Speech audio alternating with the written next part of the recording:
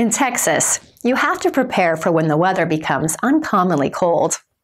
Part of taking care of your rental property is preparing it for cold weather. Today, we're sharing some easy tips so you can put together a freeze preparation checklist to ensure there are no unnecessary stresses added to your busy winter months. Lawn preparation and maintenance. In the yard, wrap the bushes and trees that may be at risk for dying when a frost hits. Use an old bed sheet for this and remove the sheets once the temperature stabilizes. Cover all the spigots and disconnect your hoses.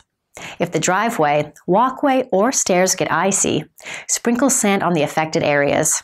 Avoid salt. It kills grass and leaves your car a mess. Preparing home for a freeze. Faucets.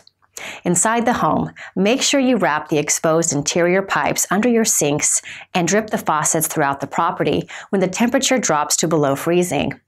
When you leave your faucets dripping, you relieve the pressure that builds inside the pipes and reduce the danger that they might freeze. Keep your heater running to ensure there is a consistent flow of warm air circulating throughout the home.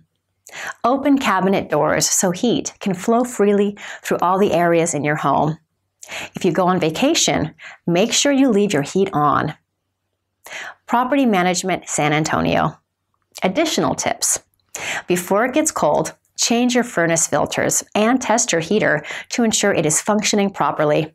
This will let you know if anything is wrong and it will preserve the condition of your home's most expensive system.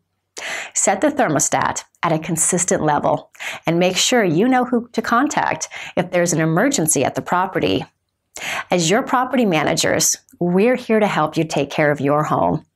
If you have any questions about freeze preparation, please don't hesitate to contact us at Liberty Management.